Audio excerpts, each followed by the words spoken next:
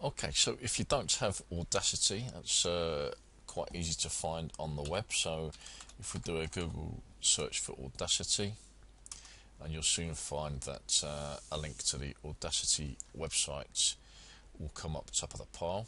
So if we click on the link, you'll see a nice clean cut website uh, giving you a good explanation as to what Audacity is all about. Okay. Now, we'll just go back up to the top page.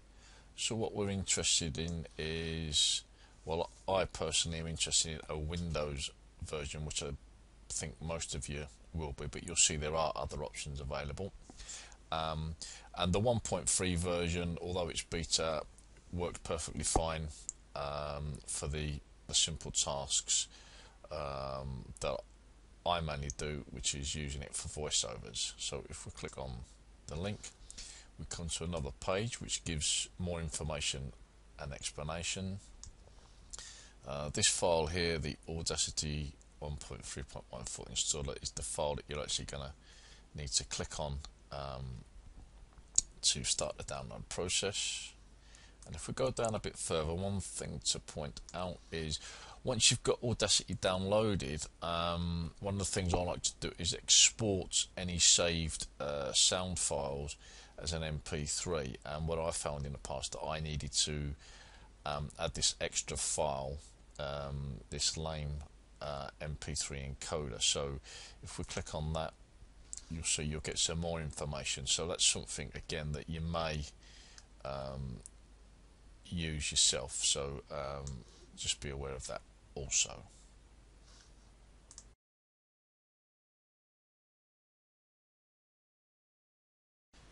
So to start working with Audacity, all I need to do is double click the Audacity icon.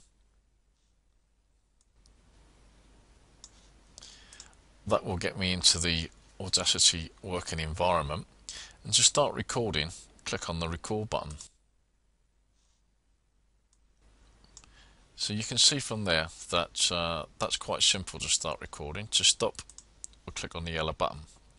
Uh, now, I don't particularly want to save that piece of recording, so I just need to click on the cross and I can quite easily get rid of that. Now that I'm a bit better prepared, um, I've got a short voiceover that I want to use for a, a welcome to a presentation. So if I click on the recall button, Welcome to this short presentation on English grammar nouns.